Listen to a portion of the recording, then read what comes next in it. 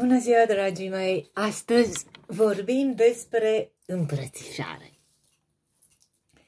Îmbrățișarea este un uh, instrument vindecător foarte eficient.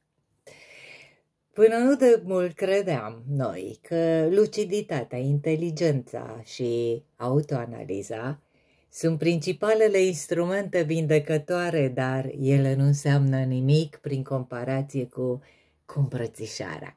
Omul, omul întotdeauna simte nevoia să fie, să fie dorit. Uh, aceasta este una dintre principalele nevoi ale ființei umane. Dacă omul nu se simte iubit, omul practic începe să moară. Dacă simte el că viața nu contează pentru nimeni, uh, ea își pierde semnificația chiar pentru el însuși. De aceea, iubirea este cea mai mare terapie posibilă. Lumea are nevoie de terapie tocmai pentru că îi lipsește această, această iubire. Într-o lume Într-o lume plină de iubire, terapia nu ar fi necesară. Ă, medicina atunci ar da faliment. Pur și simplu, iubirea ar fi mult mai eficientă. Îmbrățișarea nu este altceva decât un, un gest de iubire, de căldură, de atenție. Simpla senzație de căldură provenită de la cealaltă persoană poate vindeca multe boli, inclusiv răceala, uh, răceala și egoul. Este suficient pentru a transforma din nou, din nou un copil. Nu de puține ori am auzit că copilul nu poate crește normal. Lui îi lipsește un anumit tip de hrană. Sufletul lui are nevoie de hrană, copilul, uh, la fel precum și trupul a hrăni, a hrăni fizic, dar nu uh, și afectiv. Dacă nu ești îmbrățișat, copilul scade în, în dimensiuni, scade în greutate și poate chiar muri, chiar dacă e asigur tu hrana, hrana aceea fizică, corpul. Corpul uh, este îngrijit, dar, dragii mei, și sufletul, și sufletul trebuie îngrijit atunci când sufletul nu este îngrijit. V-am dat exemplu cu copilul. El se izolează, devine rupt de existența care este mama. Iubirea este acea punte care este rădăcina noastră. Uh, așa cum Respirația. Respirația este esențială pentru corpul fizic. Dacă încetăm să mai respirăm, corpul moare. Iubirea reprezintă acea respirație interioară a sufletului. Poți să cunoști toate terapiile din lume, poți să devii un expert dacă nu cunoști arta iubirii, nu vei rămâne decât la suprafața activității terapeutice. Din 100 de cazuri, 90 de oameni bolnavi suferă în primul rând pentru că nu au avut parte de iubire în viața lor. De aceea, dacă terapeutul simte atunci o, o, o grijă deosebită față de pacientul său, hrănindu-l cu iubire și împlinându-i acea, acea nevoie, starea acestuia se poate schimba uh, în mod uh, miraculos dincolo, dincolo de orice îndoială, iubirea este cel mai terapeutic fenomen care există. Freud se temea foarte tare de, de ea.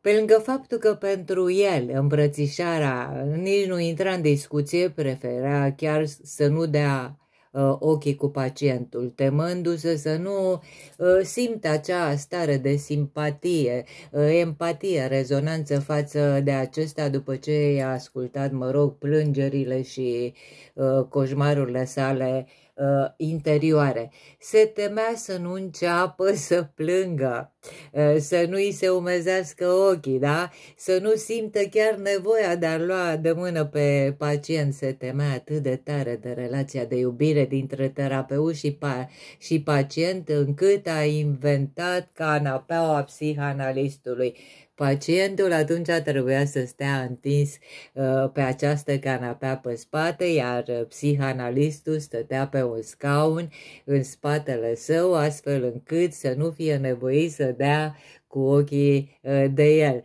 Deci, cei care ați fost la astfel de terapii, ați văzut, stați întinși pe canapea și terapeutul pe un scaun în fața voastră. Cu cât despre uh, faptul Uh,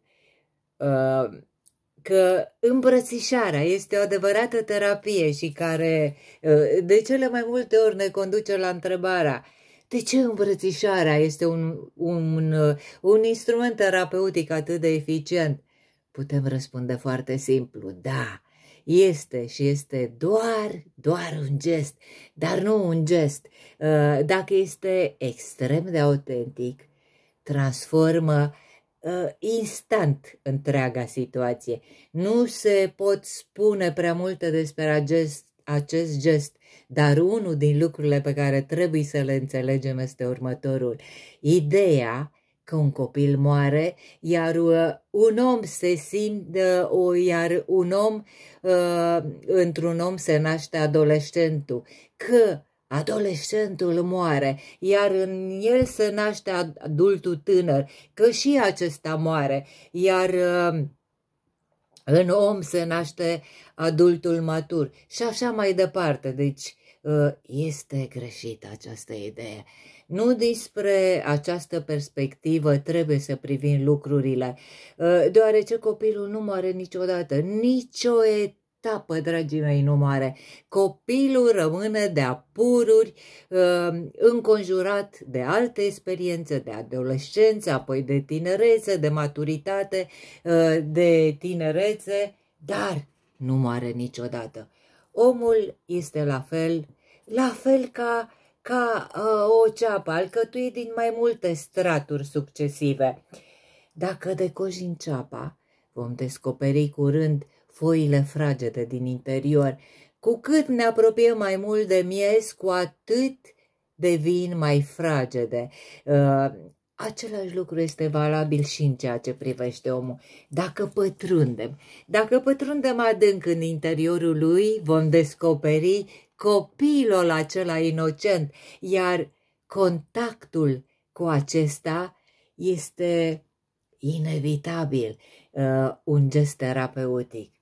Îmbrățișarea. Îmbrățișarea, dragii mei, permite un asemenea, un asemenea contact. Dacă îmbrățișăm cu căldură, uh, uh, cu iubire, dacă îmbrățișarea noastră nu reprezintă uh, un simplu gest golit de semnificație, ci unul autentic, dacă inima noastră participă la el, intrăm imediat în contact cu copilul inocent din el. Revenirea acestuia la suprafață reprezintă atunci un act o, uh, cu o uh, imensă valoare terapeutică, întrucât inocența copilului este vindecătoare în sine. Ea nu a fost coruptă. Așa că, dragii mei, oferiți îmbrățișare celor dragi. Acesta este clipul de astăzi. Vă iubesc și vă îmbrățișez cu tot dragul. Pe mine mă găsiți pe pagina mea de Facebook, Gabriela Ilinca, pe canalul de YouTube, Ilinca Gabriela, pe blogurile, pe un blog Viața, blogurile spirituale Reiki Usui, Gabriela Ilinca Reiki, uh, și inițieri, mesaje dincolo de viață, iar cei care doriți să mă contactați, la e-mailul meu cu litere mici, gabi.gabriela58 arond yahoo.com Și în încheiere, vă transmit din suflet lumină și iubire. Pe curând, dragii mei!